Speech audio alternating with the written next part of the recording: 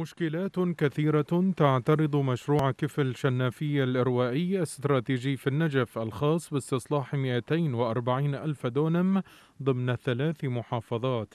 مشكلات تسببت بتأخير إنجازه لأعوام طويلة. الأمر الذي سبب استياء لدى فلاحي نجف بسبب تأثير ذلك على أراضيهم.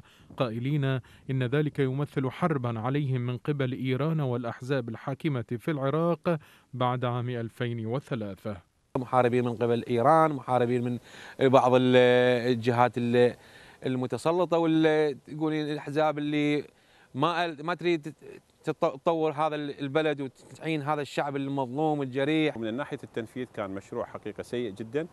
إذا ما حسبنا إنه هذا المشروع سنة 2007 ولحد هذه الساعة لم يكتمل آه، فترة من الفترات أكثر من خمس سنوات جمدت أراضي الفلاحين آه، منعوا يعني من الزراعة. والمشروع حقيقة مدة الإنجاز مالته كانت سنة وستة أشهر.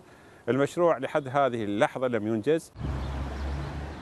وبحسب سكان النجف فإن عدم كفاءة الشركات المنفذة يمثل سببا آخر أضر كثيرا بالفلاحين في ثلاث من محافظات الفرات الأوسط وتسبب بحرمانهم من الزراعة. في وقت يؤكد المسؤولون في وزارة الموارد المائية الحالية أن المشروع مستمر رغم المعرقلات والصعوبات.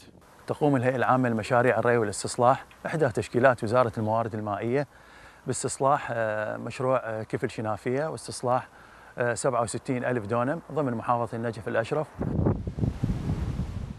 هذا المشروع يمثل صورة من صور الفساد الحكومي المستشري في البلاد. مشروع كانت خطة إنجازه المفترضة سنة ونصف السنة إلا أنه لم يكتمل منذ عام 2007 وإلى الآن.